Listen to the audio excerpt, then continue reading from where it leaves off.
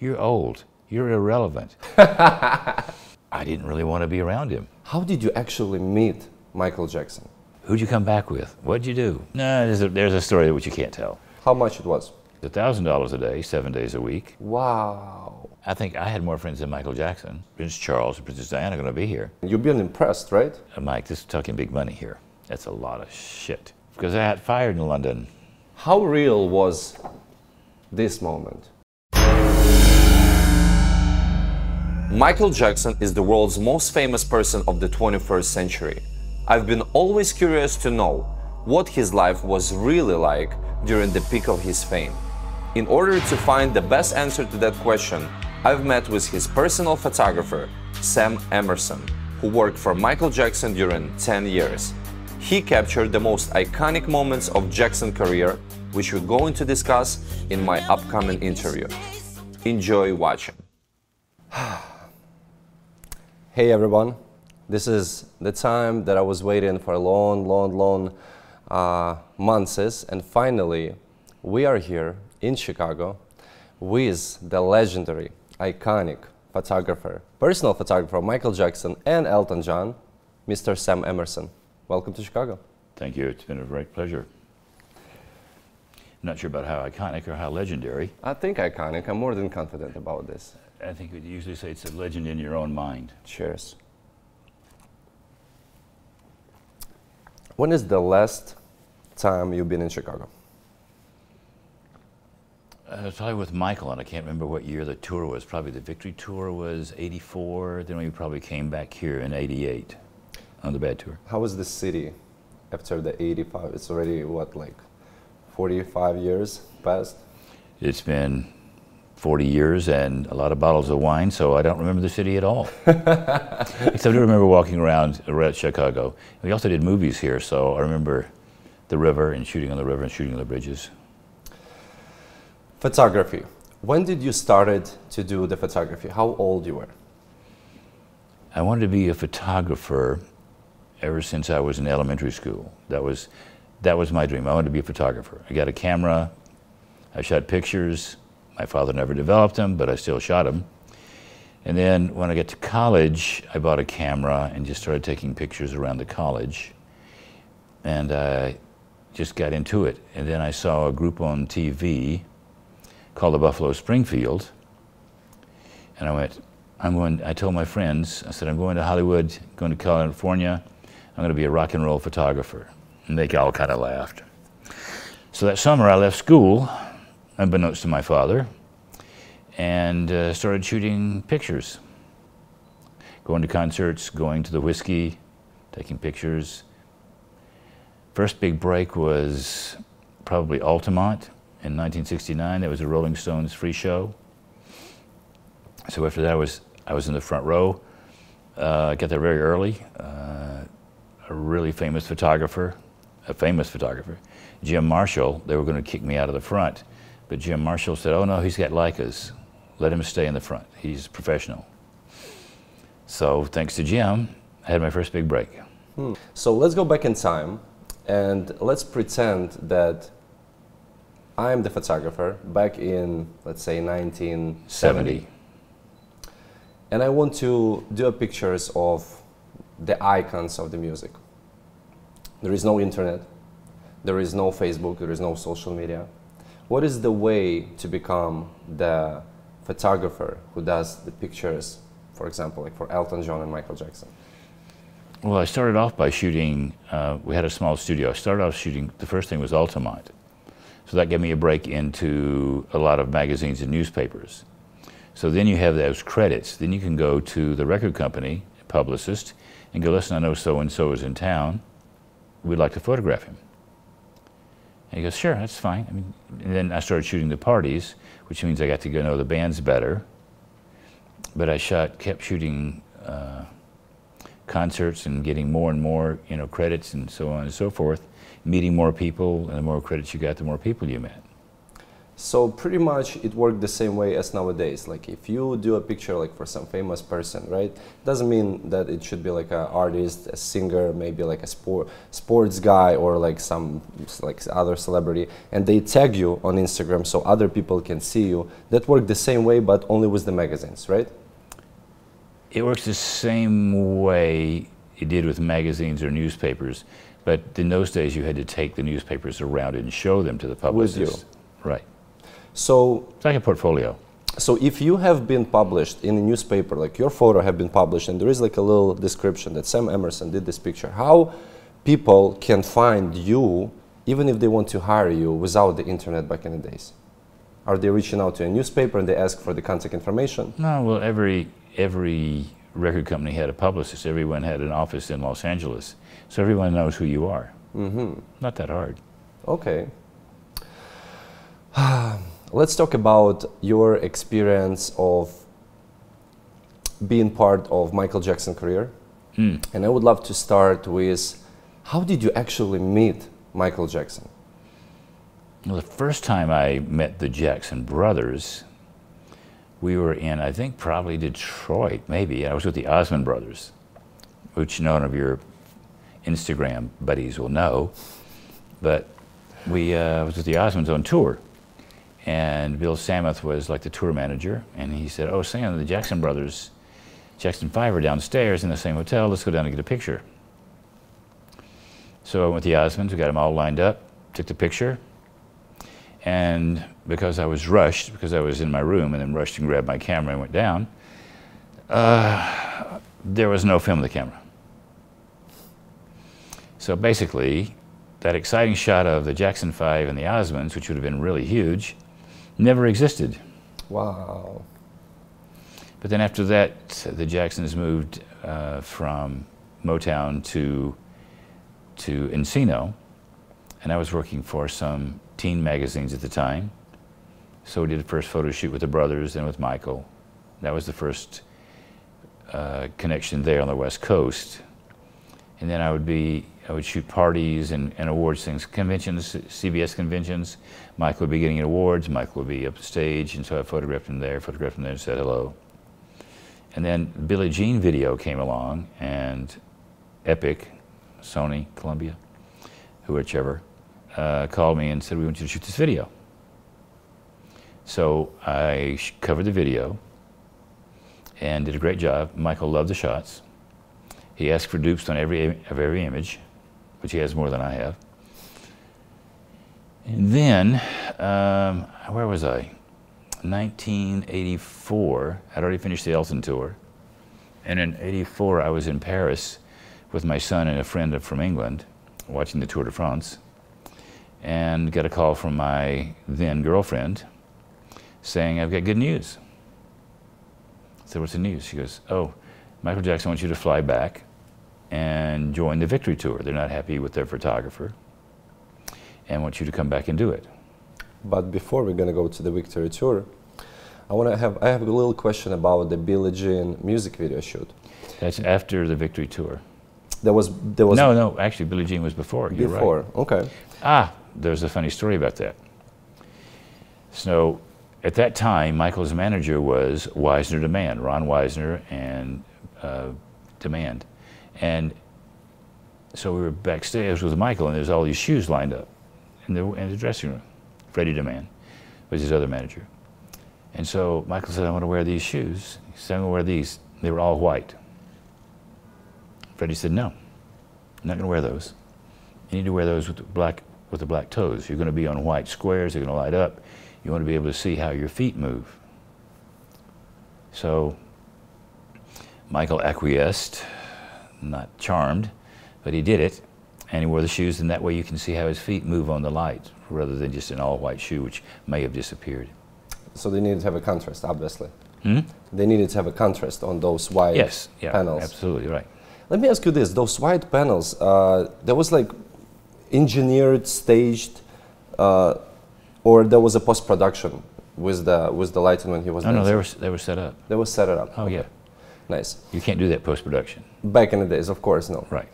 About Billie Jean, do you think Michael Jackson realized at that moment of the filming of the music video that this is going to be the biggest hit of his career? Was it the biggest hit? I don't know. I don't know if he realized it was going to be the biggest hit, but he, he certainly had he had Steve Barron as the director, so he had a first-class director, and he had a great crew, uh, wonderful uh, set painter, incredible people, and so the entire crew was top-notch. So that was, I think that may have been one of the first big videos to come out. Then for MTV, and then it just all started, the video started flowing out. After that, Michael Jackson invited you to the Victory Tour. And um, as the photographer who'd been invited by the name as Michael Jackson on that time, Yeah. I mean, you've been impressed, right? Hmm. How did your family react on that? I just came off Elton John's tour. Oh, so you didn't. Elton was the biggest in the world. Okay, but uh, I remember the story you were telling me about. You've been dating with the girl on that Oh, the girl time. who called me? Yes, when Michael Jackson called you. No, so Michael Jackson called, and so they called my number. She took my voicemail. Um, excuse me. What was it? What do you call them back in the days? Your uh, there was there was no voicemail, uh, and so she when she called me, she said, "Good news, bad news." Good news is, Michael Jackson wants you to go on his tour with him. Wants you to fly back now from Paris. Okay, what's the bad news? Uh, we're breaking up. and I said, "Oh, why was that?" She goes, "No, you on tour for eight weeks, on the road, away from me. Mm, that's really not going to work." And she was right. You haven't seen her after that. No. No point. That's crazy. Like your boyfriend is about to to shoot Michael Jackson tour. Stay with him. Yeah. What do you think about that? No. It wasn't. It wasn't. It wasn't like we were thinking about getting married. It was I- just like somebody you were hanging with. It Ah, okay, so it wasn't like a serious relationship. Well, there were moments it was serious, but Okay. other than that, no, not really. It wasn't. We had only been going out for like a month or so, so it was no big deal. so Vice choice. You go on a victory tour with Michael Jackson, and um, as the photographer, and I feel like a lot of creators watching this interview right now, how do you make a deal of going um, on a tour with Michael Jackson? How you making a deal on your price without like uh, not losing the opportunity, and at the same time you don't want to hurt your feelings? Like, what was your motivation with this offer? There was no Um, motivation. They told me what I was getting paid. Okay, There was no negotiating. no negotiating. And I went, eh. Actually, what they offered me was the same thing Elton John paid me 10 years before How much it was? $300 a day, Not seven days a week. Not Nah, It was what, 1984? 84. I got the same thing in 74. Okay. So it wasn't like I was thrilled. It was like, hey, great, great opportunity, yada, yada, yada, and a steady income. And so I, I did it. And then the next tour was more money.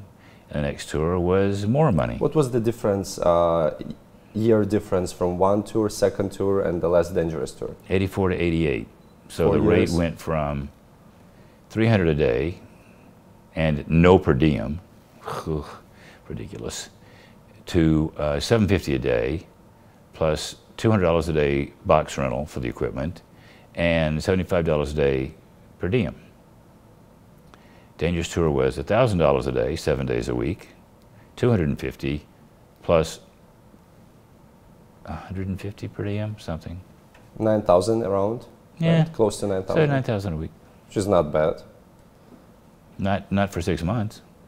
I mean, for you, for you, the motivation wasn't money, obviously, right? Or there was a big part for you. Money's always in. I mean, if he'd come lowballed me and came back, so we're going to pay you three hundred dollars a day, I'd have said no. I, I mean, So you want to say that if Michael Jackson would call you a second time or third time to go on a tour with him, and he's gonna give you the same pay as he did before, No. you wouldn't go with him? no, no point. Why? What's the deal? I mean, I was working. I'd worked for Elton. I'd worked for him. I was starting to work with Fleetwood Mac. So there. I mean, I'd done. I'd worked with Rod Stewart. What's there's no reason. Have you been Have you been impressed by the way how Michael Jackson, um, as an icon, as a music icon, was given the concerts, traveling around the United States during the first uh, tour, compared to the Elton John? I, I think Elton John was uh, more welcoming, more warming. You felt like you were part of the group. Uh, Elton would have special dinners for the band and for me and for you know his crew and everybody. That'd be something really special. When my tour with Elton was over, I got uh, a day's pay, cash, and a Tiffany watch. Wow, which was around like five, six hundred. Yeah. That's in 1974. Not bad. Not bad, since you were getting paid every day, and you, I didn't deserve, I didn't expect any bonus whatsoever. That was just thank you, not like a birthday Just thank you. nothing like that. Just thank you. you still have that watch? I do. It actually was, it's quite funny because it was a, it's a Pulsar, it was made by Pulsar, so with the Tiffany engraved on the front. So it was quite expensive. And then a year later, the Pulsar came out with the watch and it was like $69. But you still didn't matter if you had Elton, it was given to you by Elton. When Michael wrapped up and gave us watches, there were Seiko watches that he got for free. So, kind of a little difference. I don't think, I don't think Michael understood people or what it meant. I think he was so insulated that he didn't quite, quite get it. But that was okay. You mentioned that with the Elton John, you f- you feel yourself like you are part of the team, part of the group, part part of the family.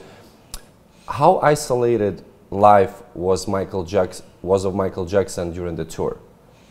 84 tour, we traveled, and so after we did the first couple dates, we started sitting together on the airplane, talking about shots.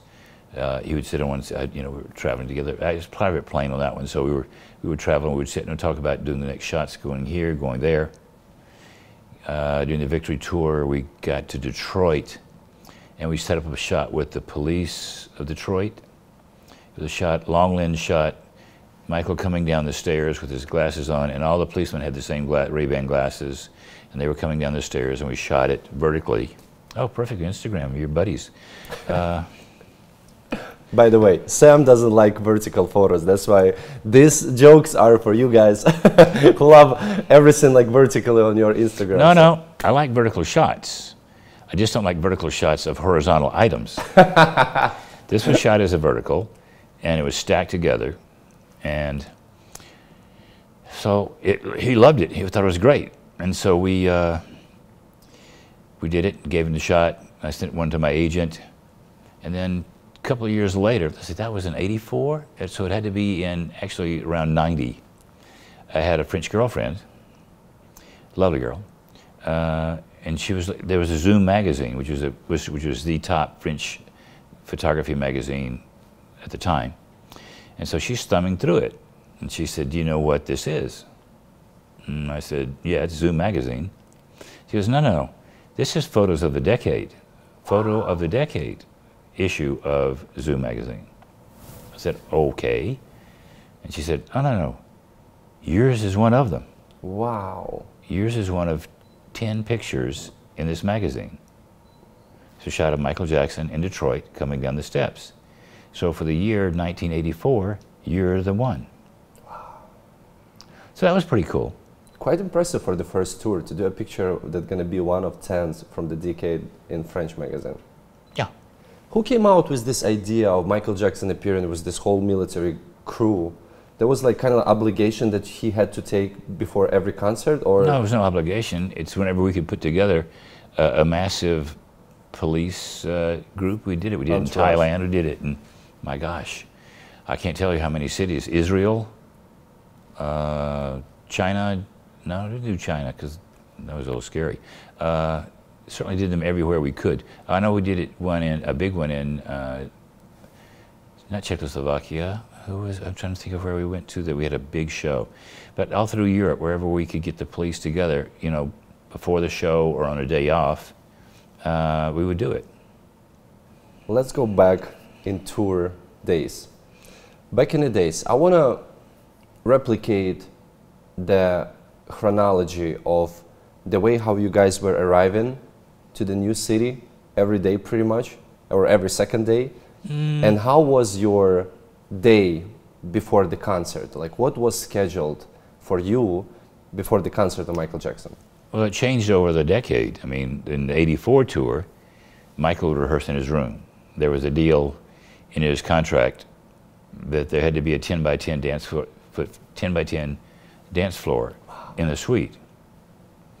So I went up one day to the suite, he called me up, and there was just sweat.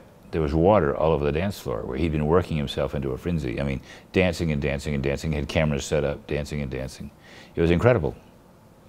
Then once he asked me to come up. He and Frank were up there, and they said, "We have to talk to you." Frank called me, his manager his manager. "I have to talk to you." I said, "Oh, should I bring my camera?" He goes, "No. Just show up."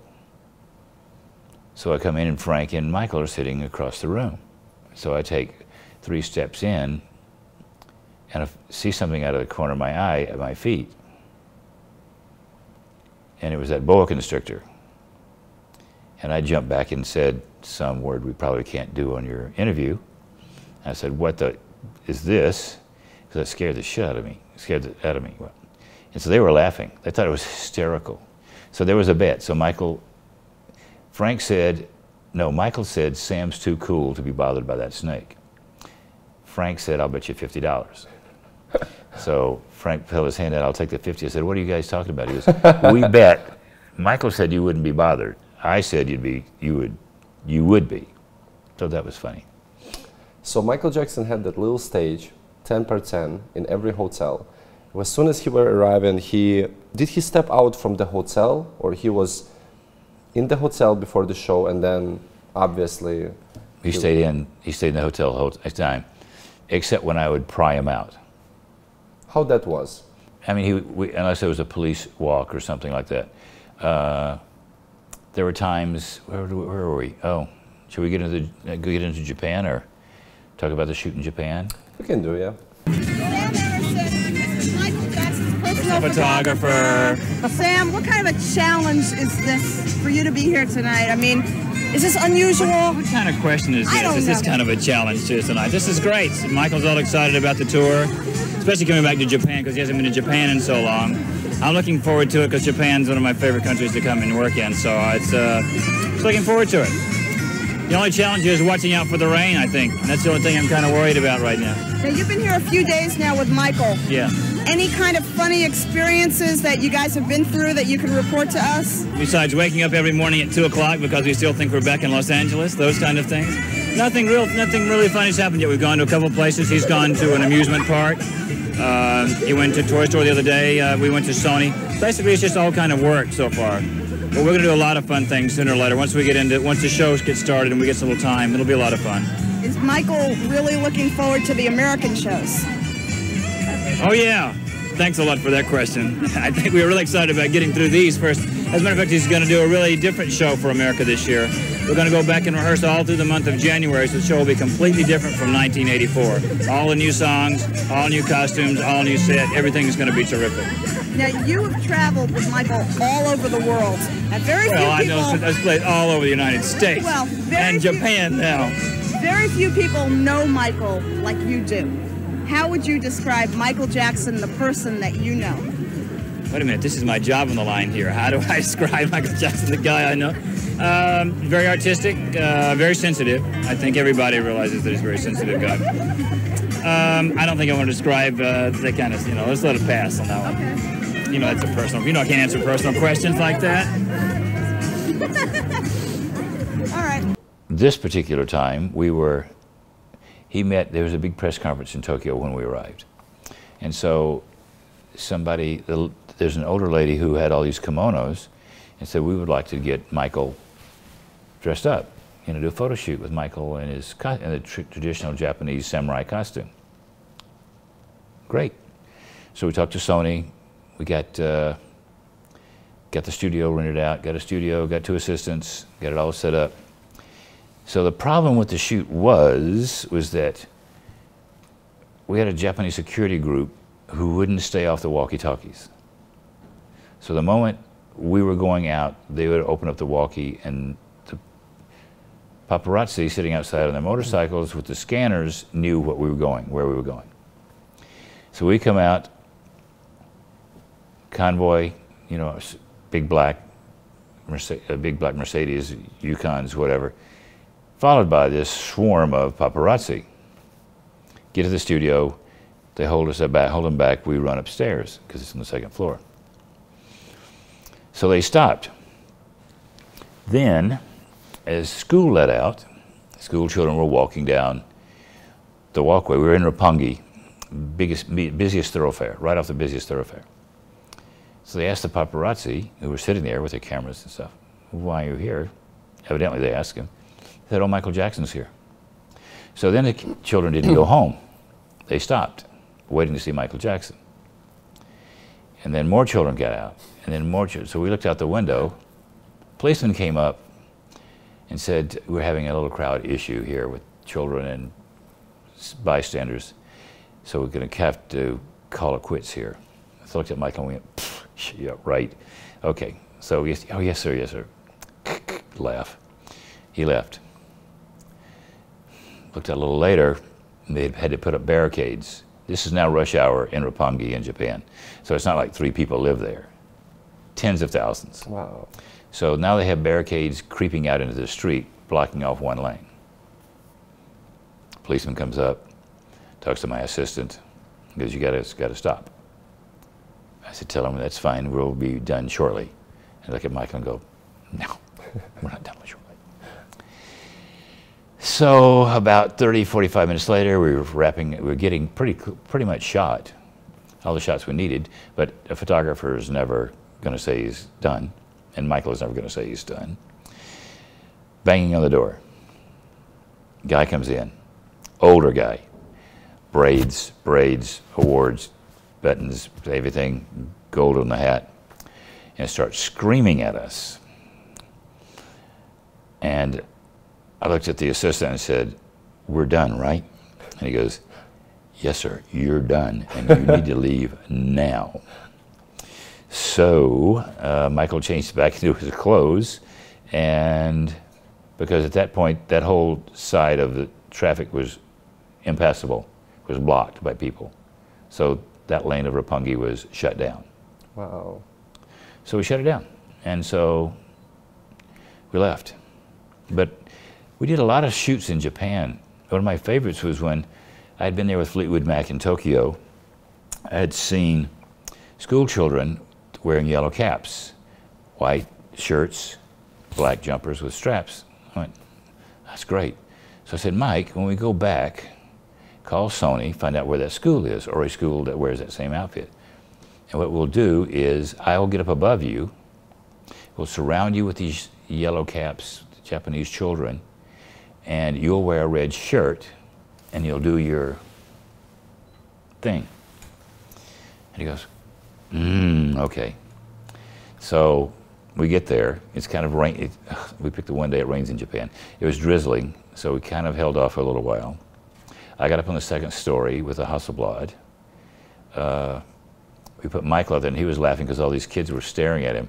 And so we had to, had to tell the children to look at me, not look at Michael, because he was he couldn't keep a straight face. He was laughing. And so we shot it. Um, shot about four or five rolls. And it became uh, a Life magazine, which is, was important at the time. Before Instagram, it became a very, it was an important shot for me. It may have been my first shot in, in life. Wow. Speaking about doing the pictures with Michael, those spontaneous shoots that you guys did, as a photographer, I'm curious, what was your personal technique of convincing Michael Jackson to do certain pictures that you had in your mind? Just tell what's, him. What's the way of like communication you guys had?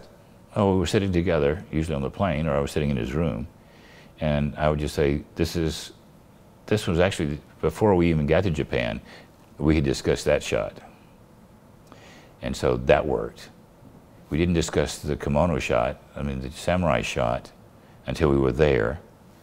Then I had gone to Osaka Castle, Osaka Castle when we were we were in Osaka, and I went, oh, well, let's do a shot at Osaka, Osaka Castle because there's this huge mound of rock, I mean, like a mountain, not a mountain, but a, but a hill. It's a rocky hill. I can put you on the top, and I can fill, flash fill it, and we can see the Osaka Castle rising up behind you. Well, I don't know. That doesn't sound like something I want to do. Oh, come on, it'll be great. Don't worry, it's going to look great. It'll be unusual. Okay. So uh, we get in our caravan again with every paparazzi in Japan following behind us, but managed to lose him. We managed to actually block the road and get to Osaka Castle, and Michael and I got up on the hill. Well, evidently, the security at Osaka Castle were looking down and saw us. This big group of people coming up to the back and stopping. They didn't know, we hadn't spoken to them about it. So they came charging down the hill. These three or four security guys came charging down the hill. We had a Japanese interpreter say, we're not doing anything. We're just not going to go inside. We just want to shoot out here. Well, evidently they called it back up. And we happened to be there during elementary school day drawing class. And so suddenly, like lemmings over a hill, school children were pouring down. Wow. Michael looked at me and went, oh my God. I said, don't worry. Then we were on the rock, fortunately, so they weren't allowed up on the rock. But completely surrounding us were Japanese children. And Michael went, oh, great idea, Sam. Really great idea. I said, what are they going to do? Bite your knees? I mean, come on. They're just little children. They're not going to hurt you. And they're just in awe. It's great. So we actually made a better shot with the children behind. They were like, again, with caps on, and I had Michael wear a green jacket, a green shirt. So it was perfect contrast, and we got the shot. And afterwards he goes, yeah, this is great. At the time he wasn't so sure. Have you ever felt like the situation with the huge group of people around Michael Jackson can go out of the control during the photos that you guys have been doing?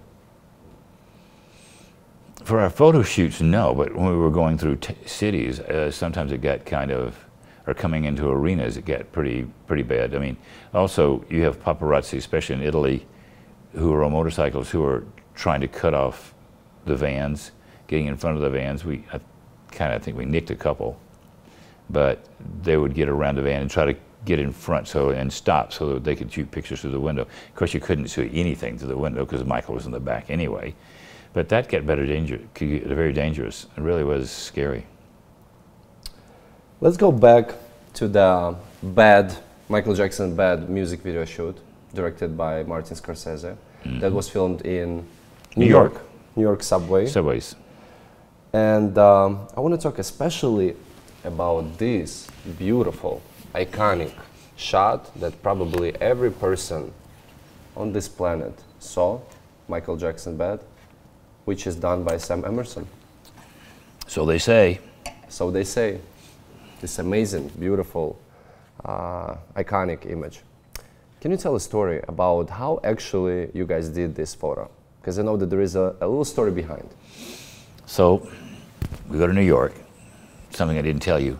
So we go to New York, and we're all California guys, right? We're all there, flying from California to New York.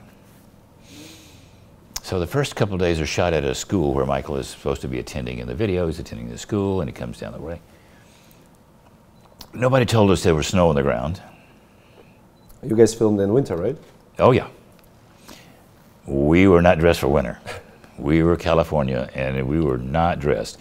So basically, Michael was wrapped up in blankets, ferny pads from the camera truck between shots. We were freezing, and so eventually, everybody asked what size shoes we wore, what size jackets we wore, and Mike, the security guys went out and bought us coats and jackets and stuff. It was cold. So we went from that, we segued from there into the subway, which is warmer, obviously. And so we're shooting, I don't know, three, four days, whatever. There's one cute shot I get, which I don't have with us, where Michael is trying to tell Martin Scorsese, first Martin tells him, this is what we're doing, this is how we're going to shoot it. I said, so you see Michael thinking, he goes, Michael's going, I want to do, you know, I think we should shoot it this way. And then he the next sequence in the shot is Martin Scorsese saying, telling Michael, that's not the way we're going to shoot it. We're going to shoot it this way. And you see Michael with his hand on his head down. You can't really argue with Martin Scorsese, so we shot it Martin's way. Then after the shoot, we'd shot for days and days. I had a, had a background set up probably for four days, all lit, assistants sitting there waiting. Just for this shot. Yeah. Well, no, not for this shot. We didn't know what shot that was going to be. But how look how the background was looking? What? How the background that, that you set it up? It was white Okay. because he's wearing a black outfit. You don't want to wear something. So it was set up to shoot after every day, and Michael goes, I'm too tired, don't want to do it. I'm too tired, don't want to do it. Oh, I don't want to do it. Okay. Last day, Michael finishes. We wrap. I said, Mike, we need to get this being set up. And Mike said, I, I, don't, I don't feel like it. I don't want to do it. And so his manager, Frank DiLeo, said, Michael, the assistant's been sitting there for four days. We're paying for this. Give Sam four or five rolls. Okay.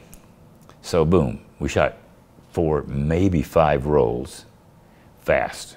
Just kept handing me the backgrounds. Hand me the roll, hand me the roll, hand me, hand me the back. Shut it. And then it came out, and it looked pretty good. So, what we did was they were going to use another shot of Michael with his face covered with lace, which was a steal from another photographer. I'm trying to can't remember the name of him, uh, but it was probably of Marlene Dietrich or something. Mm-hmm. And so Walter Yetnikoff saw these pictures and said, "No, no, no, no, that lacy thing, no, it's not going to happen. We're going to use this because this Mike makes Michael look tough, makes him look good, strong." So there we are. So Marlena is still mad on you. Marlena wasn't around to be mad at me. Her ghost was still mad at me. Greg Gorman was still mad at me. Do you consider that this photo is the most iconic photo of the Michael Jackson? Yeah, Are you happy with that? sure. Nothing. Uh, it's great. It's probably one. It's probably the most published picture I ever took. I'm thinking yes. Because I mean, you see calendars, tour books, for years and years and years. There's people are still using that picture. And on every album, in the back of the album, there is a credit, Sam Emerson, on this photo. As it should be. That's the way it is. Are you getting paid for every publishing of this photo on No. that CD? No, no, that's that's Sony's copyright. So pretty much you sold the photo as you did it. No big deal. I mean, it, would, it didn't didn't hurt me. They paid me five thousand dollars to use it. for this photo. Yeah. So it's fine by me. It was a good money on that time. Yeah. And you didn't know like how big this photo gonna be, obviously. When you looked at it, you knew. You knew When you looked at it, special. you knew Michael was going to like it. So there we are. It's one of his favorite ever. Uh, The question that I have right now, nowadays, you're gonna admit, the life in Instagram and social media, the way how people portray their, their life, is fake. People are people are showing only a, a good moments. You know what I mean? And they trying to make make believe their followers that this moment is is real, right? I'm on a boat. I'm on here. I'm on there. My question is to you. How real was this moment? How real was these pictures? Well, my room was above Michael's, and I could look out and I could see the crowd. That's in Argentina, Buenos Aires. So it's massive, filling the whole courtyard outside the hotel. So I said, so Mike kind of came out on the patio. I said, Mike, he was in an, actually, that's a black and white shot. Too bad it's not in color because I have, he was in an orange shirt. Looks great. So in the green background and the green of flowers, trees. So I said, uh, let's get a picture of you. Stand up. Mm. Turn around, look at me. I'll get the crowd in the background. Okay. Mm, that doesn't work so good. You got to stand on something. You got to get higher. so we found a box. He found a box or something. He found a box. So, and he, that's him actually over the ledge. It's a long, you know, as you can see, it's probably five, six stories. So he was a little uncomfortable, but it's a great shot. I mean, he's smiling and happy, and click, click, click. That's enough. And then he gets down. Did Michael really enjoy doing the pictures with the crowd and with the people around Oh, he him? loved it. We had, uh, even in 84, we did slideshows in his room probably twice a week because we had Sony Epic set up. Uh, who- what record company was that? You know, I don't even remember because it changed names. It was Epic, Epic Records. Epic records. So, uh, but yeah, but in Europe it was, uh, by then it was Sony in, in Asia. So we would call ahead different labs, and, and everybody had, they had an office in certain cities. So we would save the film until we got to certain cities, and then we would take it to a secure lab and, and have them deal with it, process it. Let's talk about Run Run Shaw. Before Run Run Show, Oh, I have a good question for you. I see a lot of this. Actually, guys, like this is everything on this table is a history. This is this is amazing. Like how many beautiful moments you witnessed and you captured, and because of you, we have an idea like how it was on the film. I see a lot of like nice, great, like fun photos. Like this is Michael with uh, Macaulay Culkin and was the director of the black and white music video, right? John Landis, yeah. Yes. You have a lot of you have a lot of like great positive photos. Have you ever had chance to take pictures of some sad moments of Michael Jackson life? during that period, there wasn't much sadness, really, um, nor was any photos when he wasn't when he wasn't uh, up to it. I mean, if he wasn't up to it, we just didn't do it. I mean, he was the boss. If you couldn't coerce him into doing something, we just didn't do it. But no, I don't think we have anything. There's one shot which I think we I brought, but we I don't see it. It's of him being contemplative uh, during Dirty Diana where he's just kind of walking around backstage with his hands and just kind of thinking. And it's one of my favorite pictures of him because it's completely out of, it's completely different from everything else. It's him caught unawares. I think we know that Michael Jackson was a perfectionist in his field. Have he been very like precise in the photos that you have been taken of him?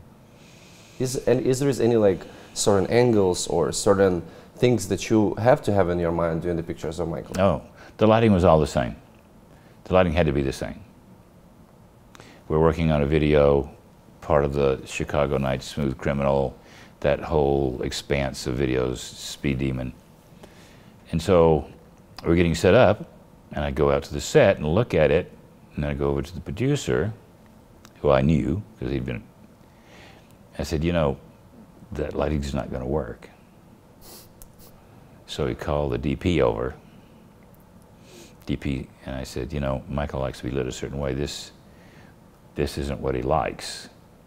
And he said, nobody tells me how to light a set. Wow. And I said, okay. Excuse me. So I go back and talk to Michael. So Michael says, are you, are, am I going to be happy with the lighting? Or are you happy with the lighting? And I said, well, it's not what we usually do. And he said, what do you mean? I said, because it's kind of harder than we like. We like certain softness and fill like here, and, and none of that's there. He said, did you tell them that? And I said, yeah, I told them. And what did they say? The DP said, nobody tells me how to light my set. He said, okay, we'll do it his way. You go tell him. We'll do it your way. And if I don't like every shot, we're not going to use it, and you're not getting paid. Hmm. So I went to the producer, and I said, let me talk to you for a second. Michael said, no problem. We'll do it this way, your way. But if he doesn't like any of it, the video is canceled, and you're not getting paid. I said, okay, well, uh, DP. Sam, tell him how we want this lit. And he didn't speak to me the rest of the shoot. I mean, it was several days, I'm sure, that he never spoke to me again. But that was that. It was like the Pepsi commercials. Do we have any pictures from Pepsi? Yeah, we do. Ah, the Pepsi commercial. Ah. That's the first Pepsi commercial that Michael and I worked together on. So we have a director, great commercial director, Joe Pytka. So Joe is rather bombastic, how would I say, emotional. And Michael heard about that, and so everybody knew, I mean, how he was. So in the contract it was, you will not raise your voice, you will not curse as long as Michael Jackson is on the set. So that was the deal. So we're shooting a little bit, and so Karen Faye his makeup person, hair person, so she goes, she goes, uh, Joe, I, I need to look through the camera. Joe's face went blue cold. what? I need to look through the camera. Okay. So she looked through the camera, and I could see Joe's jaw. I think his teeth were chipping. He was gripping his jaw so tight because nobody did that to Joe's camera. So she said, "Oh no, it's great. Okay, good." So he ended up doing at least two Pepsi commercials and two videos with him, and that that was the deal. No raising your voice. The moment everybody, the moment Michael left the set, then it changed. I see a lot of uh, beautiful behind the scenes photos that you did from several Michael Jackson music videos. Well, it's like not really behind the scenes if he's on the set. Smooth Criminal, Billie Jean, Black and White. What is your favorite music video shoot that you attended and you would you've been working on? Probably the in the closet. In the closet. There's Naomi Campbell. Naomi Campbell, Herb Ritts directed it. Uh, it was beautifully lit. It was outside. There's Herb's picture with Herb right there. And it was just a great location. Where actually you guys filmed this? Somewhere in Utah? Indian Indian Springs, Indian Desert, out in uh, near Palm Springs. So that little story about that little deal was, so that's Red Skelton uh, with Herb Ritts and Michael. And Red Skelton is a famous comedian from back in the 50s. Uh, he was extremely famous and it was a great, uh, and Michael wanted to meet him. Same thing like Jackie Gleason. We met Jackie in Miami, had dinner with Jackie Gleason. So anyway, so we're there, and so this is the location. We're going out to Palm Springs, Palm Desert, Indian Springs, whatever they call that place. It's just a effing desert. So we get to our hotel, and we know where Herb's staying with his group, hair, makeup, camera guys are all staying in this resort. Great. So we figured, yeah, good for us. So me, the wardrobe guys, Michael's hair, makeup, all our group, pull up to our hotel. We get out and we go, Are you sure this is the right place? Because it was like, uh, I don't want to mention any brand names, but to be honest, it was a little scary. It was not up to where we normally stayed. so we all went in our rooms and with our luggage, and we all came out of our rooms with our luggage. And we got together, and we sent a message to Herb, his production manager, that we were going back to Los Angeles, that we weren't going to stay there. And if he didn't find us a place now, we're leaving, which meant no video. So, shortly afterwards, we we're in a new resort. Wow. I know. Surprise. So that was that. I think, and then the video started, and it was, once we got our room settled, sorted out, uh, the shoot was fantastic, and it was great. Herb was doing a great job. I was shooting stills, which Herb normally did. And Naomi was on the set, and she was fabulous, and the dancing was great. Michael was a little intimidated by her. She's a little wilder than he was. It was to. their first time working together, right? First time. First time meeting her, probably. So that was it was fun, but it was uh, it was it was that was a great shoot. Really. Michael Michael looks very confident in that music video. Like that's pretty. I, I wouldn't say it's not like super provocative music video, but mm, they look together like really nice. well, a there's some shots that are pretty provocative. I mean, where their their arms are intertwined. If you, I think which one was it? Yeah, that was great. There's a, there, there are more, which I didn't bring, which are a little more, what did I want to say? Closer, but those were, those were great shots. And I some, get some great shots of Naomi by herself in the door. She was, well, obviously she's a, she's a great model, so the shots of her by herself were fantastic, really fantastic. Did Michael feel comfortable with Naomi Campbell? Mm, yeah, I think he felt comfortable with her. We're not going to tell that story, are we? Probably not. No, there's a, there's a story which you can't tell. But yeah, I think he felt comfortable once uh, it was once the guidelines were established. You mentioned about this hotel where you guys were staying. Either it was a music video shoots or the tours. My question is this: like, how secure was the situation of Michael Jackson being in the hotel? Do you guys rented the whole floor, whole hotel? Michael, had, we, Michael would rent a whole floor for himself, and then we would stay with security. Would be on the floor. Uh, the, that floor would be locked off so that only we could use it. Uh, I usually stayed there with Michael, head of security. All the security guys stayed there, manager, whatever. Uh, I got moved off. What was the reason? Well, after one show, Michael said, My understanding is that you have a revolving door on your room or something where a lot of females seem to be coming all the time. And that's on my floor, and so it makes me feel a little uncomfortable. So, do you mind if I move you down one flight? I went, That's even better for me. I have to deal with security all the time. So, yeah, sure. That was it. Michael was very cool about those personal situations that you guys had during the tour. Yep. He didn't care. Actually, like like he asked me to, what did you do last night? Where'd you go? Who'd you come back with? What'd you do? Uh, well, so that it was fun. He was he was interested in what some hedonistic guy was doing. Michael never was into the hanging out after the concert, like meeting no, with the fans or stuff like this. He was more business. He was business is business. I'm here to do a show. I'm here to rest. I did my show. I'm going to rest. And then, I mean, sometimes on the off days, we would do slideshows and so on and so forth, or we'd go out for a photo shoot. But it was never any of this. Uh, let's go sightseeing, because usually, in like in Rome, we shot these amazing pictures in Rome, but it was always we were isolated. But the shots are breathtaking.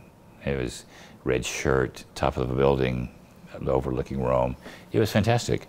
But no, there weren't. There was. I mean, we would have it to ourselves. Same with Disney Disneyland in Tokyo. There was only 50 people there. We had it to ourselves. Uh, Disney World in Florida, which I went to way too many times. Uh, we would have security would go underneath. There's tunnels underneath all through that place, so we'd go underneath uh, to the ride, go to the front of the ride, we'd do the ride and come back. Next time we had a day off, we'd go back to the Disney World and do the same ride again. So we did basically the same thing every time.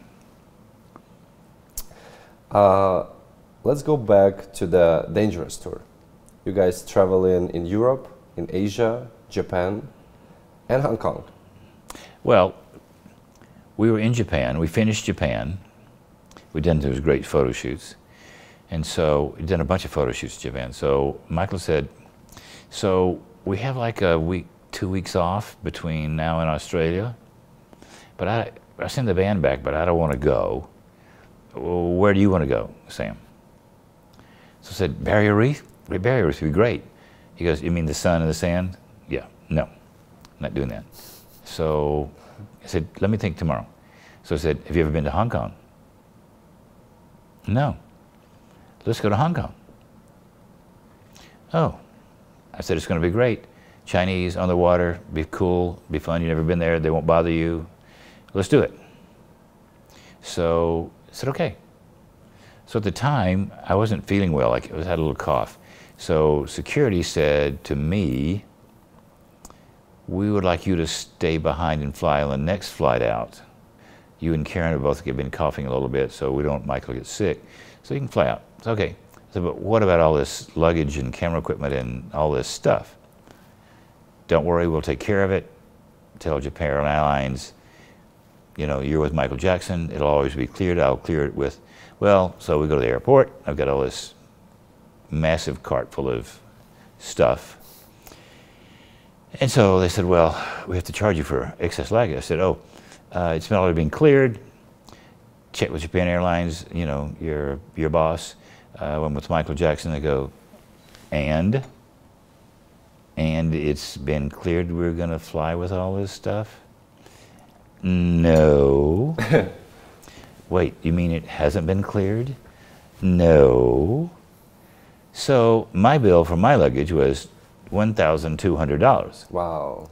That's in 1988. That's a lot.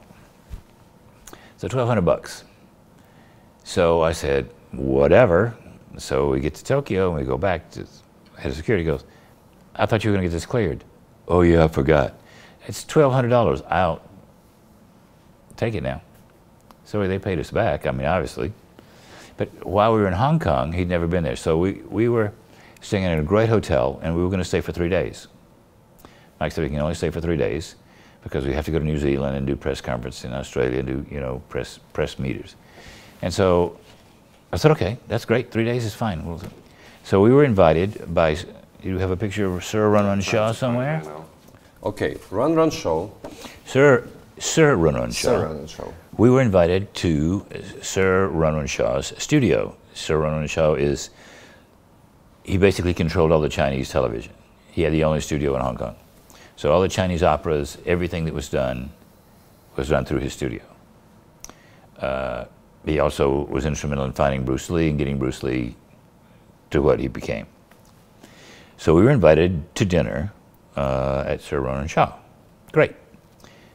Very impressive. Well, first we pull into the studio, and I've never seen so many Rolls Royces in my life. There had to be maybe 30 Rolls Royces lined up. It wow. seemed he would buy one a new Rolls Royce every year and keep the old ones.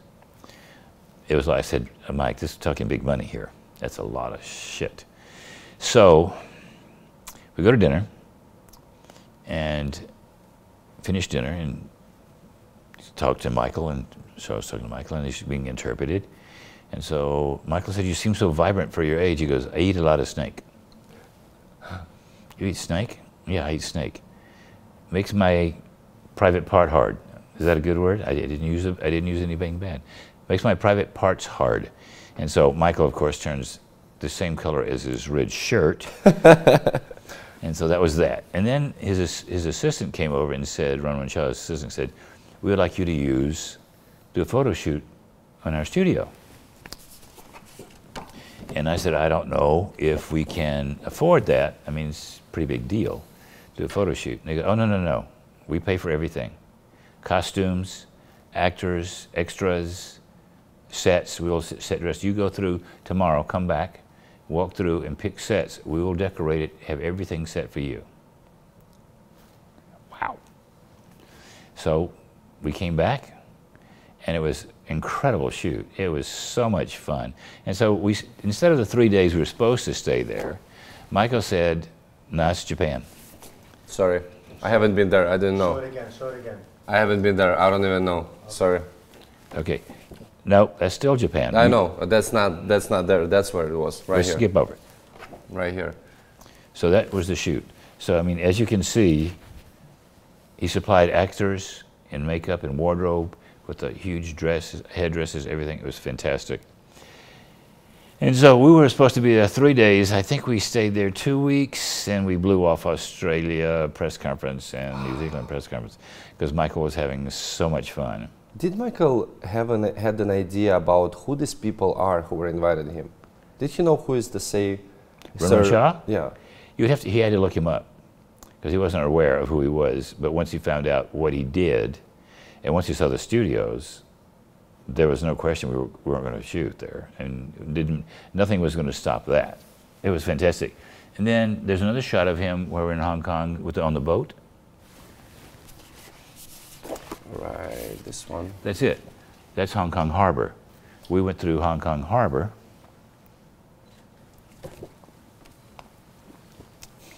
And we also went to Macau, because Macau was still under, at that time, Hong Kong and Macau were under British rule. So we're on the hydroplane boat. And I took Michael up to the, to the front to where the captain was. They were steering the boat. Took some pictures with him. Then Michael said, Can I? I said, Can we get a picture of Michael steering the boat? And he goes, uh, You mean Michael Jackson steering the, the, the ferry to Macau? And I said, Yeah. He goes, uh, That's kind of really irregular. He said, But okay. So we got Michael steering. Michael was steering the boat to Macau Wow. from Hong Kong. Not for a long period of time, needless to say, but he did it. I see this beautiful personal credit of Sam Emerson getting on what the Dangerous World Tour. That's actually what you carried with you all the time, right? When you were On the Dangerous Tour. Yeah. Needless to say, I took the picture because I had to have it, it lit perfectly, just like Michael. That's beautiful. Oh my God. So then we went to during. The, you should pull up the Italian pictures. That's a good story. There's one. Where's It's the in one Rome, with- right? Where's yeah, but where's Stallone? Find Mr. Stallone. So we're doing a show in Rome, and Sylvester Stallone shows up.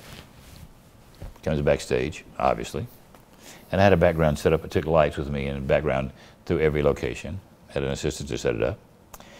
So Sly comes in and goes, Hey, I thought you were supposed to be working on my movie here. And I said, uh, Yeah. He goes, So how come you're on the Michael Jackson tour and not taking my movie pictures? I said, Because you were afraid to get out in the snow. Didn't wait until the snow cooled off. And so I got an offer to another job, and here we are. It's okay, but next time you're doing my movie. Wow. So I ended up doing four movies with him. After the tour of Michael Jackson. Yeah, I'd done one before, but after that we continued. And so the other shot of him in the Roman gladiator outfit, or the centurion, excuse me, not gladiator, it was centurion. Uh, we decided because we were, in, we were here, we, we his wardrobe guy said, he said, "Why don't we do a shot? Why don't we get you dressed up like an old Roman centurion?" So we had had a party. Someone had had a party for us. Oh, the American ambassador had a party for us, and he said, "We would like you to do that photo shoot." So that photograph is in the American ambassador's backyard, and his wife brought us tea sandwiches and lemonade. So we felt pretty cool. That was kind of fun. I see a lot of um, photos that you guys did was so spontaneous and was by invitations of those people who you were visiting, either like Hong Kong, Rome. I know you personally have been introduced to Princess Diana and uh, King, Prince Charles, well, now King. now King, yeah. Can you tell about this story? Michael one day said, and well, we were at Wembley because we did like seven, eight shows at Wembley.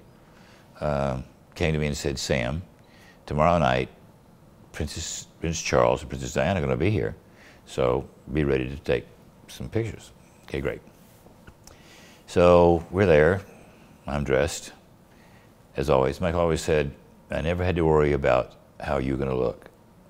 Always knew that you'd be good. You would never embarrass me." So okay, we're ready. So Prince Charles, Princess Diana, Michael says, I'd like you to introduce my still photographer, Sam Emerson. Prince Charles leans in, rubs my lapel and goes, very nice suit, Mr. Emerson. Are you available to work for me tomorrow night? Wow. Which was kind of a, wow, okay. Uh, you have to ask my boss. And Mike said, absolutely, before the show, no problem. What did you two talk about? I wrote a song called Dirty Diana. And it's not about Lady Diana, it's about certain kind of girls that hang around concerts or clubs. You know, they call them groupies. The groupies. Mm-hmm. I've lived in that all my life. You see these girls, they do everything with the band and the, you know, everything you can imagine. So I wrote a song called Dirty Diana. But I took it out of the show in honor of Her Royal Highness. And she, she took me away and she said, are you going to do Dirty Diana? I said, no, I took it out of the show because of you. She go, no, I want you to do it. Do it. Do the song. So she had a sense of humor with you. Yeah, of course. So that night I worked for, uh, the night, next night I worked for Prince Charles, and he had a function upstairs at Wembley, and he had a fighter there, and he said, Sam, this is going to be the next heavyweight champion. This is Lennox Lewis. I went, in my mind, I'm going, yeah, right. This guy? And he was. Amazingly enough, he was. So it was a very special evening. That meeting um, with the Princess Diana and now King Charles, um, that was because Michael Jackson did a huge donation, $100,000 to the Children Foundation, with the Pepsi, if I'm not mistaken. But he did that in most cities. Pepsi Cola donated money to children's organizations in almost every city we went to. We always had a check presentation. And this is what I wanted to ask you. Like every city, like because nowadays this is very rare that you can see that the artist who is traveling like around the world and giving the concerts in London, Paris, Munich, Munich, and so on and so forth. Every city that he goes, he visits the children hospital. when we he- can. When he can. Uh, when it's available, we always went. We always went, and he, and it was really touching, because you know I'm on tour and I have children, and Michael said you seem to be really bothered by this sometime, and I said, well, I have children, and I hate to see children in this condition, children who are terminal, children who have cancer, children who are in hospitals like this. I said, yeah, it's just touching. You know, it hurts a little bit. How kind Michael Jackson was. He loved going to see children and loving to make them happy. He was great, really good about that. But there was another story in London.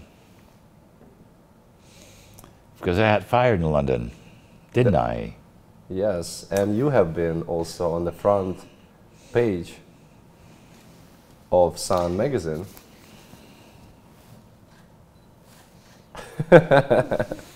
Sam Jacko Sex Pest. Ah, millionaire photographer, Sam Emerson. And I'm going, wait a minute, millionaire photographer? Where's the other $800,000? I'm missing something somewhere.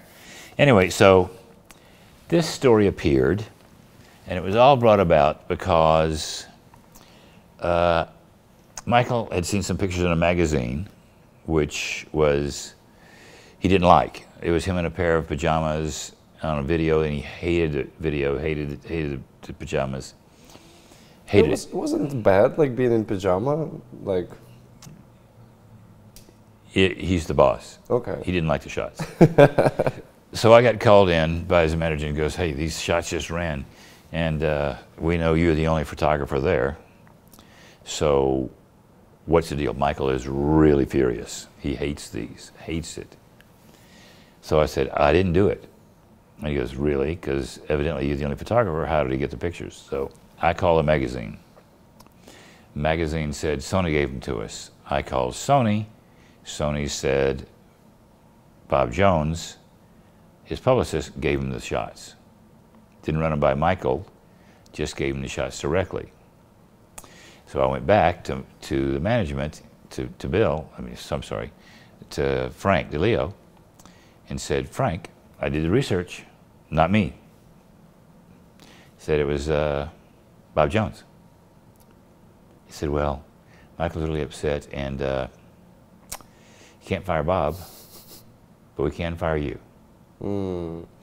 So I said, that's total BS. I, I mean, obviously I didn't do it, so you're firing me for no reason, basically. And he goes, yeah, but Michael, whatever.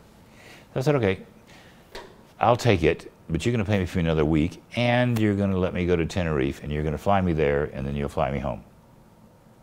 Okay, so Tenerife's a nice island off the coast of Spain. So I was contacted by the editor of the Sun Times here. He said, I understand you've been fired. I said, yeah. Well, yes. And he goes, why? And I said, uh, that's, that's a business decision on Michael's part. I really don't discuss it. He goes, why don't we have dinner and we'll talk about it. I want to hear your side of the story. So he invited me to a restaurant. Well, it wasn't a very good restaurant, actually, now I remember it. Kind of like a pub.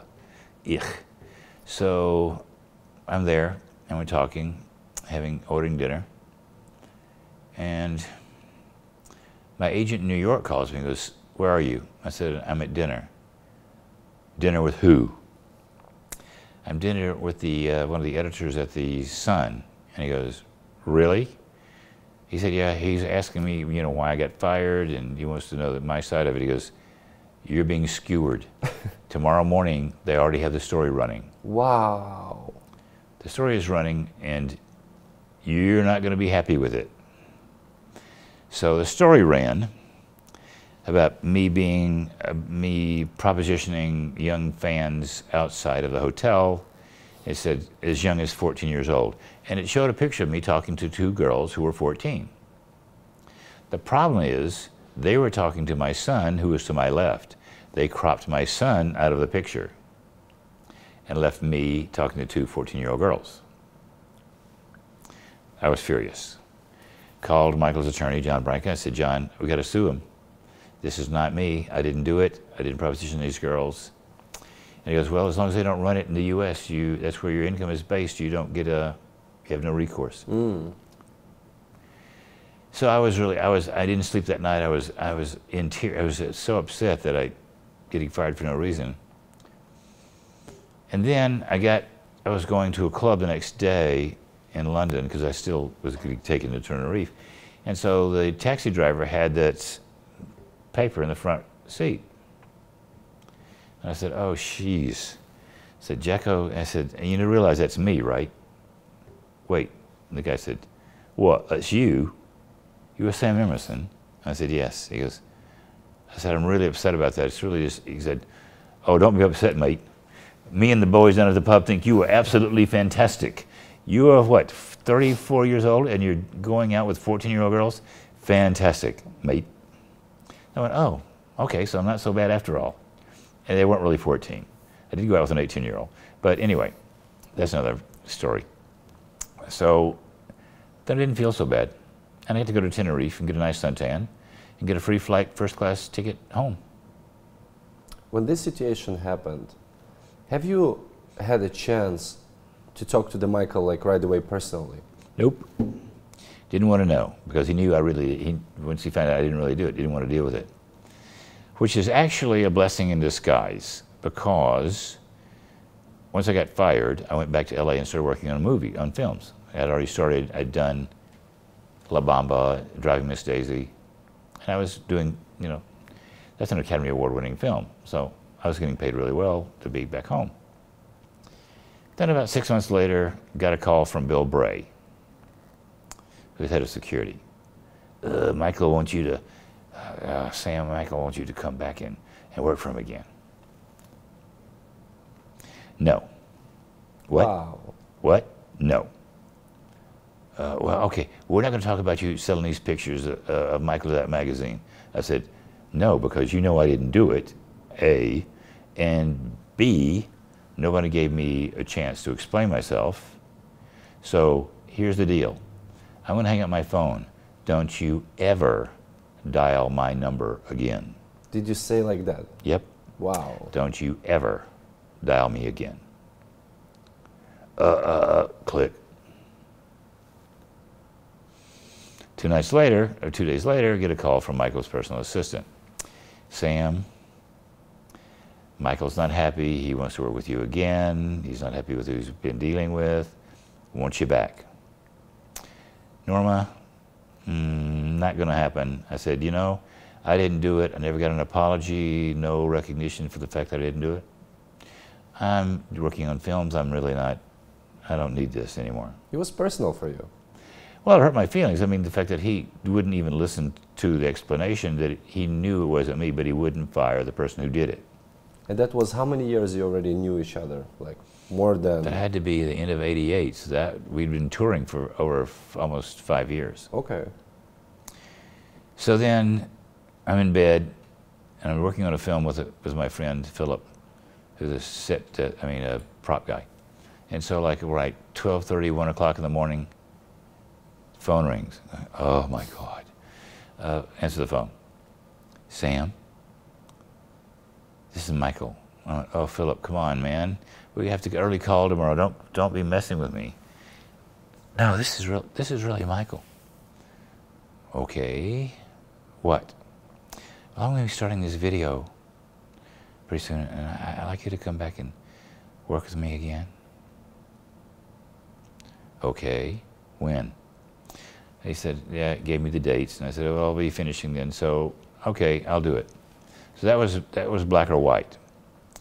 So I'm on the set a couple days, having set up background set up to shoot pictures, and I shot all the extras and the dancers. Couldn't get Michael to come back. So I'm not feeling really good about it. I just uncomfortable. So I called Norma, his assistant, and said, Norma, get somebody else. This isn't working for me. I'm not happy, not happy the way it's going. Uh, Michael's kind of, kind of cold, not as not the way it used to be. Even after that phone call, you guys didn't have like that warm. No, not like, not like the rapport we had, Yes. the creative rapport we had before. So I said, I said, let him know. I get somebody else. I'll be gone in a week. Wow. So then I got a call and said, Michael wants to see you in his trailer. Go to his trailer. And he goes, I know you're upset. I said, Yeah, I'm upset. You never said you were sorry. You never acknowledged the fact that I didn't do what you said I did. Yet here we are trying to work together. He goes, Well, I know, you know, you've been, your agent's been doing these photos around the world for, for all this time. I know, since we started working together. Uh, but I told you that was those weren't mine, and I didn't do that, and you know who did. I know, I know. He said, "Here's what we can do. If you'll stay with me, you can whatever you have and whatever you in the future, whatever you do, you own it. Wow. You can own it." And then later, there were two exceptions to that rule. The exception was the Oprah Winfrey interview, which Oprah owned, which I had no right to, and the family honors, which we did in Las Vegas, which you said, I don't really want these pictures published. Hmm. And so I said, Dad agreed to that at the time. He said, but everything else that you, that you have, I know you have pictures, they're, they're yours. So I had the world's largest archive of Michael Jackson photos in the world. Wow. And this is the pictures that you did. And I want to ask you, how many photos did you miss? How many moments did you miss? Can Miss? you give me can you give me the idea about maybe some sort of like situation or something that happened that you wish you would capture but you didn't have a camera or maybe something didn't work? I wish I'd kept a shot of him with Prince Charles and Princess Diana, which I didn't. I wish I still had a shot of the Osmonds and the Jackson Five, but I didn't have any film on the camera, so that's disturbing. But I don't think there's there's not a moment that I can remember that we missed. I mean, I have shots of him with Elizabeth Taylor, Sophia Loren, uh, Baryshnikov, uh, dinner with uh, dinner with Jackie Gleason in Miami. Hmm, the crabs was really good. Uh, stone crabs are great, uh, and it was funny because Jackie Gleason, who you don't know, no to your Instagram fans, Jackie Gleason had a great show, this incredible show. He was a comedian for years, and Michael he did a movie called Gi- I think, where he played a deaf mute clown or person, and Michael loved that movie, one of his favorites. And so when we were in Miami, Michael set up a dinner together. And Jackie Gleason said, You're so famous. Why would you want to meet with an old guy like me? Because that picture really meant something to Michael. And so that really touched him. He was, he was touched. Think about three the most iconic photos that you did in your career In of my career- Michael or not Michael Jackson. Uh, shots of Elton John backstage. Then there's a great shot of him laying on the couch where he's asleep. And above him is a, is a sign. He's not asleep, but he's resting. He's all dressed for the show, and above him is a sign that says, Welcome back, bitch. That's Elton John photo. Yeah. One second. Uh, probably with Elton again would be uh, John Lennon coming in for rehearsal. John came on the plane. We had a plane called the Starship. And John Lennon came on the plane, and Elton said, I want you to, when you're in Madison Square Garden, I want you to come on with us. And he goes, I'll only do it if whatever gets you through the night reaches number one. And Elton said, that's a deal. If it gets to be number one, you'll come on stage and perform the show, the song. So it went to number one. So we're in New York and uh, doing rehearsals. And because we're going to do, I know two songs. That I, I, someone said there was four songs. I remember two songs. It was in the Sky with Diamonds and whatever gets you through the night. So, first day in rehearsal, John Lennon comes up in a blonde wig. Funny shot, funny shot. John Lennon there in a blonde wig, doing playing the guitar, doing rehearsals with Elton. Second day he comes back, it's John Lennon wearing the cap, and so we're shooting, and the, I guess the New York promoter sent us by a bottle of uh, Rothschild. Uh, what do you call it? Uh, very expensive glass bottle of wine. Chateau Rothschild, Chateau Lafite Rothschild. So he, this very expensive bottle of wine, and they had nothing to drink it out of except styrofoam cups, no paper cups. So there I got a great shot of Elton pouring the Chateau Lafite, Lafite Rothschild into a paper cup. Hmm. And they were both drinking it. Then there, but just so many shots of them together. Then the shots with the band rehearsing it. it. That that was one of the special evenings. Very special. What about the third shot? What I go from Stevie to that, probably the bad cover, but I have a really nice shot of him in yellow somewheres. We'll make it appear during our interview so people can see clearly. If you can find the picture for me, I can describe it. And this one, correct? So next to the bad shot, the bad cover, that's the shot we did. And I like it particularly because if you've seen it, let me look at it again. If you see it, you see he has a yellow shirt. Yes. So we're in this hotel, and I went down to the flower shop downstairs and found purple irises, irises with yellow, with the yellow in them. And I put them up on the mantelpiece because I knew he was going to be wearing the yellow shirt. And then I dropped a few on the floor. So there's, you have the yellow and the purple, and the yellow shirt ties it together. So that was one of the fun shots that we really set up. That's one I really like. Besides the shots in Japan, which were great, and the shots in Hong Kong, which were amazing. Other than that, that would be my favorite. This is your personal staged photos. Like you even dropped those flowers for a reason, right, on the floor. Yeah, How I liked those photos. loved it. But sometimes you just get lucky. Somebody asks, you know, what happened? How, how do you explain your career, or so-called career? And I just say, you know, I was at the right place at the right time. So I'm, I'm, I'm out. The tours are over. Tour's over. We're out traveling about, and I'm going into North Carolina to uh, buy a house with my wife. So we're going to North Carolina. Get a phone call from Michael. Need you to come back. But I'm in North Carolina. There's no tour. We're not doing a video. No, I'm going to do an interview with uh, Oprah to squash these allegations. Okay, and he says, I need you to light it. So, I mean, he has a videographer who travels with us all the time, but evidently he trusted me more than him. So I said, but I'm in North Carolina. He goes, makes no difference. Get book a ticket. You're flying tomorrow. Yes, sir. So me and my wife flew back to LA and went up to where was it?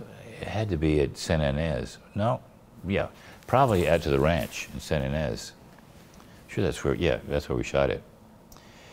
I never stayed there. Oof. Anyway, uh, so I set the lights for it. Oprah came in and did the interview, and then we did. Elizabeth Taylor was there, and then we did some. We did some playback. And so there's Michael, Elizabeth Taylor, and Oprah Winfrey, and this is in Life magazine. Again, something your Instagram fans won't know anything about, but that's the way it was.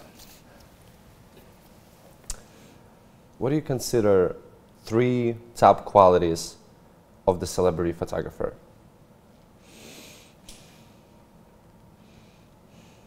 Of successful celebrity photographer. I think it's a melding of a number of things. First, you have a modicum of degree of talent.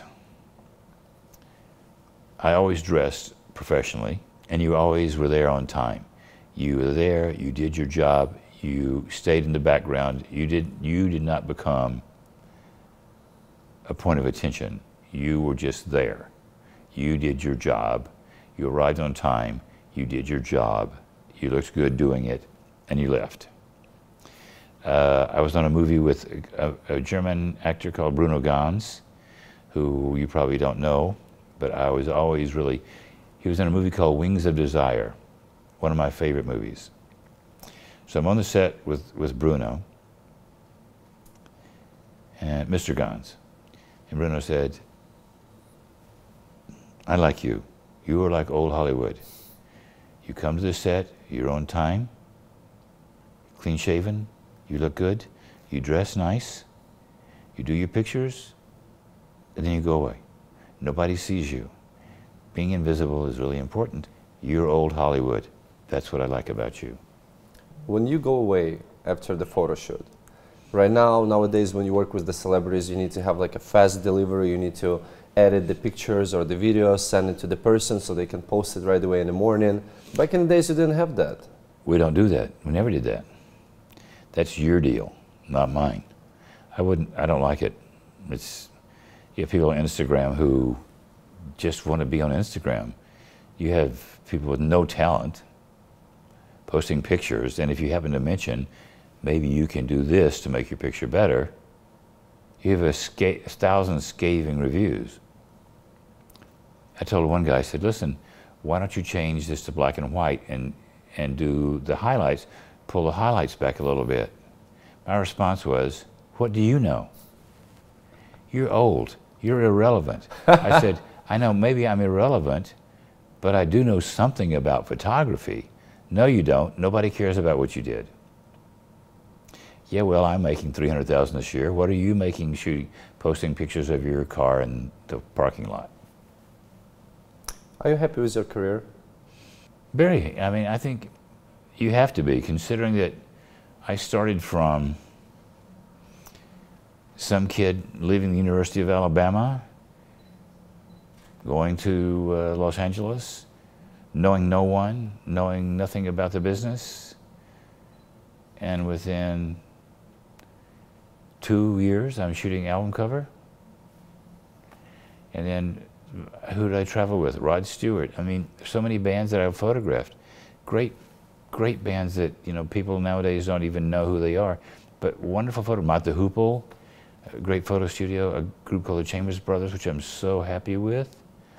I mean, that was one of the first big ones. Jeff Beck, who was like an idol of mine, got to photograph him in my studio. Hmm. Even though he arrived an hour late or an hour, two hours late, I didn't care. He was out buying parts for his 32, 32 Ford for back in England. He was out at the junkyard buying parts. Didn't bother, as long as he showed up.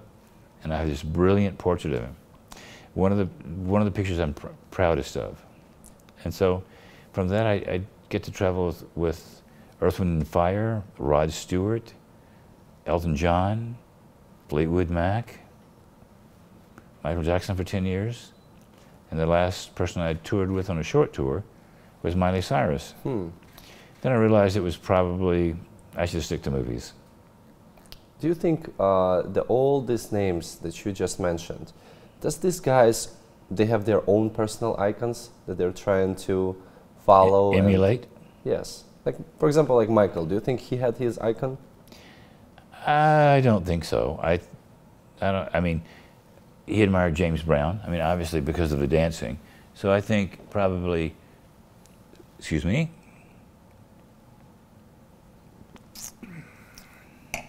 Breakfast of Champions. Uh, I think maybe James Brown because of his dancing. And it was really kind of funny because everybody thinks Michael started the moonwalk. Hmm. And I was watching a movie, and it was a, it showed a, a, a band on stage, and they did the moonwalk a year before Michael did. I'm going, wait a minute. So I think you know he had he always hired choreographers to work with him, some really great ones, and yeah, I think that uh, I think maybe maybe James Brown. I don't think Ray Charles because he didn't he didn't move on stage, but I think probably if anyone that Michael admired the most would be would have been uh, James Brown. Sam, I should tell that I admire, admire your work. And this interview that I really wanted to do is just to, you know, highlight and show the people who sit on Instagram and they have no clue about, you know, the people like you, the older generation who did this amazing photos for us. And thanks, thanks your work, we can, you know, witness this all greatness. Um, You need to show them the stuff with uh, those two guys. oh my God, there is so many photos. No disrespect, but there is so many photos that's that. the- well, with, they might know Slash because he was Guns N' Roses, but the one you just showed was Steve Stevens, who was Billy Idol's guitarist. So Michael kind of liked the bad guys. So let's show them Mr. Slash. That's the next shot. I don't know if I have it here. It's you get your hand on it. This one. No, this Steve Stevens. Put your hand back down where that one is. Oh, here. This one, yeah. So everybody, your friends might know Slash. I mean, because he was with Guns N' Roses. Yes. I photographed him as a baby because my girlfriend at the time knew her knew his mother. So when he came over to my studio, we photographed him as a child. So I think Michael kind of liked the bad boys. So this is yeah, this is the. Steve was on Dirty Diana. He played guitar on Dirty Diana. So this is a shot I did for the cover. And this is a picture of, of Mike and Steve Stevens on the back. And for some reason, I guess Dirty Diana was on bad because there's another one of my shots. It was your idea to do this shot of the The boots? Well, it certainly wasn't Michael's idea. No, I just saw him on stage uh, or on set, and I saw these boots, and I went, "Oh, that's kind of fun." So we had a great, we had a great collaboration. I mean, it was the first couple tours. It was this great collaboration. It really was. Have you been friends with Michael Jackson or you were just very professional and only business? I'm not sure. Michael had a lot of friends. That may have been, that's really kind of sad. I think I had more friends than Michael Jackson. Michael had more admirers, more sycophants, people who wanted to be around him. I didn't really want to be around him. That wasn't, I just wanted to take great pictures. I didn't want to be your buddy. I like to be Elton's buddy. It was fun hanging out with Fleetwood Mac, but I didn't want to be Michael's buddy. So I feel like that's why he maybe like extra respected you for that. Because you haven't been, you were like keeping it very like business and professional. It was an artistic job, and it, for some reason, it just it just kind of worked together. But you know, toward the end, it got to be just a job, and at that point, it kind of it wasn't fun anymore. Hmm. It became a paycheck, and once a job becomes just a paycheck, and you're not creating anything, I know that sounds foolish, or not foolish, but self-aggrandizing or self-indulgent. But I liked creating, like like just the shot of those boots. With the boots, yeah. That was just something you captured. The shots of him in Hong Kong on the boat, that you created something. So you were creating, I don't want to sound art because then it makes you sound like you think you're some big deal. But you were creating something. And I did the same thing on the movie sets. Once you get to the movie set, you shot stuff off set and you created an image that wasn't really there. And I created something for him that wasn't really there. And once it becomes just shoot this concert and I'll see you later, I mean, you take the paycheck, but it becomes a job Yes. and you lose, you lose enthusiasm for it. What is the last moment that you had conversation with Michael? Probably somewhere in Mexico City. I think we'd already done the family honors. Or was that after Mexico City? You lose track. I'm really old and I drink a lot of champagne, so I forget shit. Um, probably family honors. And that, and that was kind of at, you were at a distance for that. It was just kind of being there and shooting it and shooting the concert and shooting that. And I think then I think probably Mexico was after that. And Mexico became there was all the accusations were coming down. And it became for him just became a job. It became a job for him, it became a job for him. You can see the enthusiasm's not there. And at that point I felt the same thing. You know, I'll shoot this, I'll shoot that, and then eh, go home. Sam, I want to say thank you for this interview. It was amazing to talk to you. I'm very, res- I'm respecting you as the creator, as the artist, and thank you for everything that you left for us. And I hope this interview was very interesting for the people who didn't know those stories. Thank you, Sam. You're welcome. Appreciate it. Cut. Close shot on me drinking champagne at the end. That's good.